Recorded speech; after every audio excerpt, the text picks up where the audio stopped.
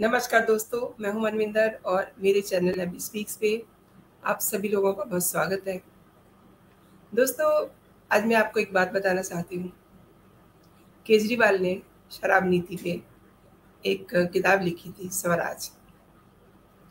उसमें बताया गया था कि शराब की दुकानों के लिए नेताओं की सिफारिश पर अधिकारी रिश्वत लेकर के लाइसेंस देते हैं।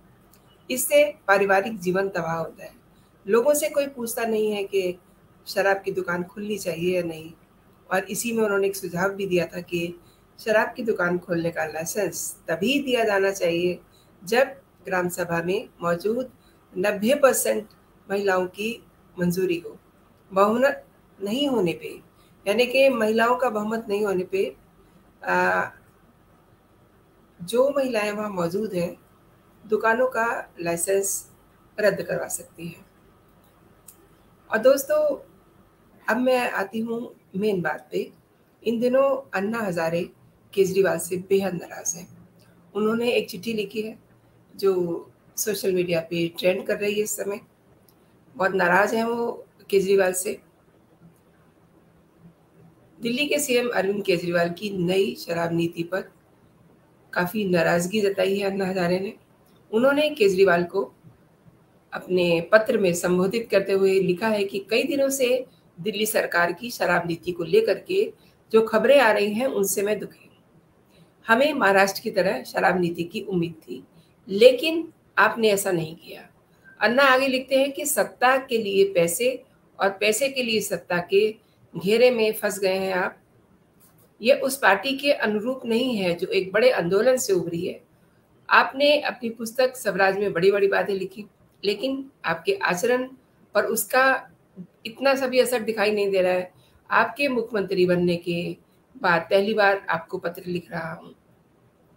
अन्ना ने पत्र में लिखा कि आपकी सरकार लोगों का जीवन बर्बाद कर रही है। महिलाओं को प्रभावित करने वाली शराब नीति बनाई गई है। आपकी कथनी और करनी में फ़र्क है और सरकार को जनहित में काम करने पे मजबूर करने के लिए समान विचारधारा वाले लोगों का एक प्रेशर ग्रुप होना चाहिए था।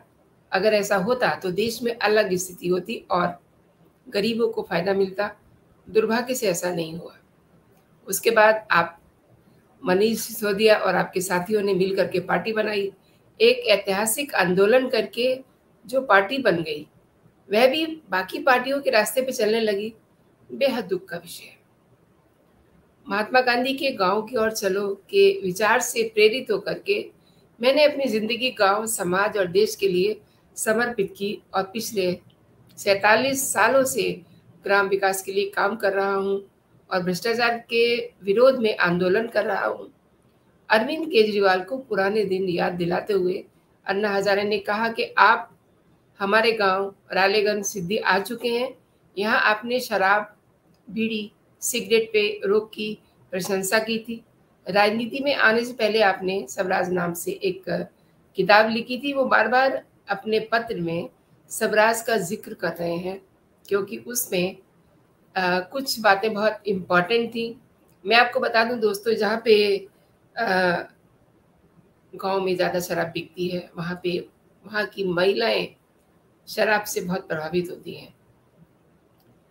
इसी बात का ज़िक्र उन्होंने किया है। उन्होंने ये कहा कि आपने ग्राम सभा, शराब नीति के बारे में बड़ी बड़ी बातें लिखी थी। तब आपसे उम्मीद थी कि आप कुछ करेंगे, लेकिन राजनीति में जा कर के मुख्यमंत्री बनने के बाद आप आदर्श विचारधारा को भूल गए।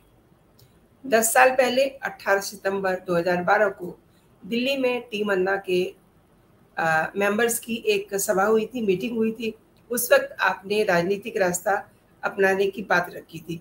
लेकिन आप भूल गए कि राजनीतिक पार्टी बनाना हमारे आंदोलन का उद्देश्य नहीं था। उस वक्त टीम अन्ना के बारे में, जनता के मन में विश्वास पैदा हुआ था। इसलिए उस वक्त मेरी सोच थी कि टीम अन्ना को देश भर में घूम घूम करके लोक शिक्षण, लोक जागृति का काम करना ज़रूरी था। अगर इस तरह से लोक शिक्षण, लोक जागृति पे काम किया जाता तो देश कहीं पर भी शराब की ऐसी गलत नीति नहीं बनती देश में। बहुत वो एक तरह से हताश है केजरीवाल से।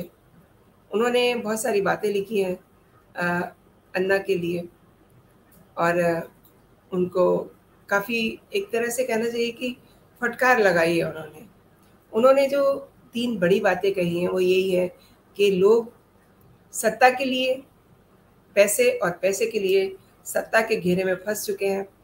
अपने सब, जो पुस्तक है केजरीवाल की, उसके लिए उन्होंने लिखा है कि जो आपने लिखा, उस पर आपने अपना आचरण नहीं बदला। यानी कि जो आपने लिखा, जो आपने कहा, उसको आपने किया नहीं। आपकी सरकार लोगों का जीवन बर्बाद कर रही है।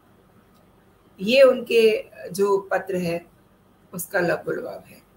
लंबा चौड़ा पत्र है उसमें काफ़ी उन्होंने सुझाव भी दिए हैं कि नब्बे परसेंट महिलाओं की मंजूरी अगर ना हो तो वो दुकानों का लाइसेंस रद्द करवा सकती हैं। लेकिन एक और बात है खास आ, ये उनका पत्र उस समय आता है जब मनीष सिसोदिया के यहाँ उन पे जेल जाने की तलवार लटकी हुई है। और आज उनके लॉकर वगैरह भी खंगाले हैं टीम ने। उस समय अन्ना का जय लेटर आना काफ़ी महत्वपूर्ण है और जहाँ तक समझा जा रहा है, इसको केजरीवाल अगर कायदे से टैकल नहीं करेंगे तो उनके जो लोग हैं, उनसे जवाब मांगेंगे। दोस्तों, आपको मेरा ये कंटेंट कैसा लगा? मुझे आप ज़रूर बताइएगा, क्योंकि इस समय जो शराब नीति है, उसी को लेकर के केजरीवाल की सरकार पे बनी हुई है, उनके मंत्रियों पे बनी हुई है, मनीष सिसोदिया पे बनी हुई है। आप अपनी राय ज़रूर दीजिएगा। एक और बात, अगर आप पहली बार मेरे चैनल पे आए हैं तो आप मेरे चैनल को सब्सक्राइब भी कर सकते हैं। और वीडियो अच्छी लगे तो आप इसे लाइक करें लाइक का बटन ज़रूर दबाएँ। और अगर और भी अच्छी लगे ये वीडियो तो आप अपने दोस्तों में भी इसे शेयर कर सकते हैं। फ़िलहाल इतना ही दोस्तों, आप अपना और अपनों का ख्याल रखिए। जय हिंद, जय भारत।